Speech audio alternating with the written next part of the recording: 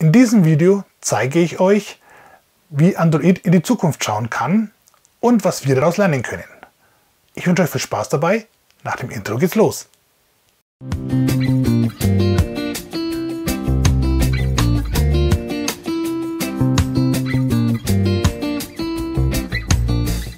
Hallo, ich begrüße euch zu Sandys Diabetes Loop. Ich bin Sandy und ich erkläre euch heute, warum Android APS in die Zukunft sehen kann und was wir daraus lernen können. Es ist doch so, dass wir der eine oder andere diese ganzen Linien hinten raus gesehen hat schon mal, beziehungsweise schon öfter gesehen hat und sich fragt, was diese verschiedenen Farben bedeuten und welche Funktionen sie haben, beziehungsweise ja, was man damit macht. Ich erkläre euch dann im Prinzip, wozu diese Linien da sind und wie ihr dann diese Linien für euch besser interpretieren könnt und daraus eure Schlüsse ziehen könnt, also beziehungsweise wo ihr dann vielleicht das eine oder andere auf euch anpassen könnt. Ich möchte jetzt gar nicht lang drum reden. Ich hätte gesagt, wir gehen jetzt gleich mal ans Handy. Nun kommen wir zu den nun sind wir am Handy und jetzt geht es um die Vorhersagen. Die Vorhersagen ist alles ab dieser gestrichelten Linie, die senkrecht von oben nach unten geht. In meinem Fall sieht man insgesamt drei, eigentlich vier Linien. Man muss ein bisschen genauer hinsehen. Ich zeige es euch auch nochmal mit dem Pfeil. Und zwar als allererstes sehen wir von unten her kommend diese hellblaue Linie. Das ist der Zero Temp Target oder Null, äh, Null temporäre Basalrate.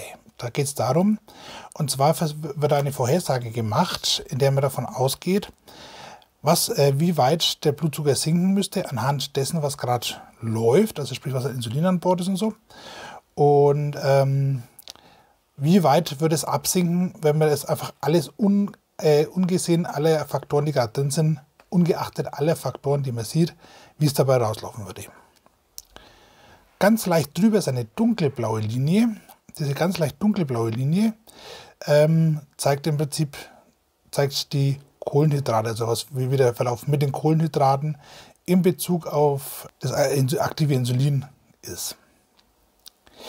Die orange Linie, die ihr oben drüber seht, das ist die Kohlenhydratlinie. Das heißt also, so würden die Kohlenhydrate sich abbauen, egal ob ich jetzt was gespritzt hätte oder nicht. So ist im Prinzip grob die Berechnung. Und ganz oben drüber, die, ja, ich nenne es mal ockerfarbene Linie, die zeigt uns im Prinzip, wie sich der Blutzucker verändert. Aufgrund zum einen natürlich der aktiven Kohlenhydrate, des aktiven Insulines und natürlich aber auch aufgrund der aktuellen Sensitivität, die einfach eingegeben ist. Die muss ja auch mit berücksichtigt werden. Und ganz oben, oder beziehungsweise man sieht dann so eine durchgehende Linie, die dann ab der gestrichelten Linie gelb gepunktet ist. Die ganz dünne Linie ist es die zeigt uns das aktive Insulin an. Also das sehe ich, im, das sehe ich dann, wie viel aktives, wie lange ist das äh, Insulin noch aktiv, dass ich das letzte Mal gespritzt habe. Diese Linie verändert sich auch immer wieder, je nachdem, wie viel Insulin gerade drin ist, ob SMBs gegeben wurden oder ähnliches. Und das ist natürlich dann auch für uns, wenn wir dann später schauen, hm, kann ich jetzt nochmal korrigieren oder nicht, oder muss ich nochmal korrigieren oder nicht, kann ich jetzt anhand der Linie eben erkennen, okay, ich sehe, dass ich sowieso jetzt in meinem Fall um 11 kein aktives Insulin mehr drin habe, der Blutzucker sinkt sowieso äh, Stück für Stück ab, also lasse ich das so, um einfach zu vermeiden, dass ich später in einen Unterzucker rutsche. So, so viel zu diesen Vorhersagen, warum Android APS in die Zukunft schauen kann. Jetzt geht es dann im Studio weiter. So, nun wisst ihr, was es mit diesen Linien und der Vorhersage von Android APS auf sich hat. Ich denke, dem einen oder anderen ist auf jeden Fall damit geholfen. Wenn ihr Fragen rund um das Thema Android APS, Night Scout oder ähnliches habt, unten in die Kommentare. Über ein Abo und einen Daumen nach oben freue ich mich natürlich auch immer, ist klar. Ich hoffe, es hat euch Spaß gemacht. Bis zum nächsten Mal bei Sandys Diabetes Loop. Tschüss!